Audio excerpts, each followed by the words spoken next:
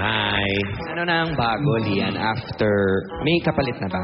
Yun na, yun na kaagad. Oo, okay lang, yun na. okay lang. Kasi alam mo kapalit na. na ba Sa puso mo, yes. si Texter Boy? Wala. Texter Boy talaga. Wala pa. Mahirap na. Oh. Ay, mahirap na. Masasabi mo bang nagsisi ka sa naging relasyon mo kay Mark? Hindi. Kasi nagmahal lang naman ako eh. Ikaw ba, nung mga, sa, yung mga controversies mo, pinapayuhan ka rin ba ng ibang mga EB babes? Siyempre, lagi. Oh, isa-isahin natin.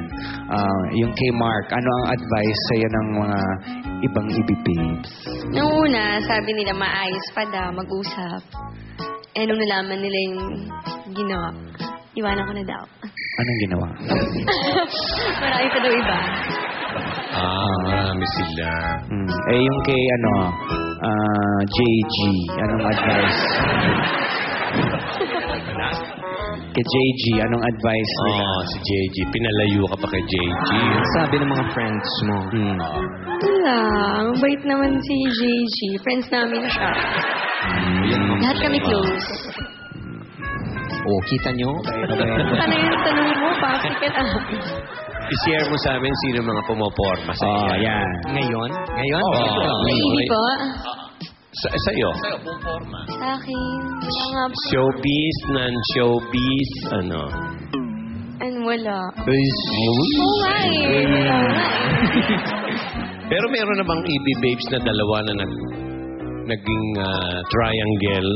Ayan, Oo. magandang tanong yan. Meron na. Nag-away before. Ah, sino? Si, ano, si Ann siya si Saida. Si Ana Saida. Kanino? Kanino nag-away? Because of one guy? guy? Ah, showbiz? Mm-mm. Ano? Initial. Initial. K. Okay, si Kiko. Siguro. Aha. Sino ba bang K? Alan? Baka yun ba? Kay Alan? Taga GMA? Kakaitulaga. Oh, isa na lang. Dalawa lang. Kiko. Ah, yung dalawa lang na yung anak ng papa ko. Oo. Mm. Hindi ba nakikita sa bahay? Pwe- pwe- hindi. Pwede rin Kuya Anjo yun. Ke. Pwede. Kuya Anjo. Kuya JG. Wow. Pero anong ano mo? Anong dream mo talaga? Anong ah, ambition mo? Kung ikaw Siyempre, masusunod. Lahat po ng tao gusto maging successful. So, sa field na pinasok ko, sana maging successful po. Kasi na-stop ako mag-school eh. Actually, gusto ko po magtuloy ng schooling ko. Kahit po nag-work. Schooling. Sa, sa sex bomb, ah, ang sumusolo na rin si Rochelle. Rochelle. Mm. Sa inyo, sa EB Babes, ikaw ba, handa ka na ba mag-solo at iwan yung EB Babes? Naririnig namin na magsusolo ka na daw. Ay, hindi po. Ayaw mo? Hindi pa po. Hindi naman po sa ayaw, pero hindi pa po siguro sa Hindi sa ngayon. ayaw, pero gusto mo. If given an opportunity, ba? Gulo No, mo, ah. hindi ko tatanggapin. Gusto nga libang magsusolo ka, sino gusto mong kapartner? Hmm. Kunyari, binigyan ka ng movie o TV show, sino gusto mong makapartner?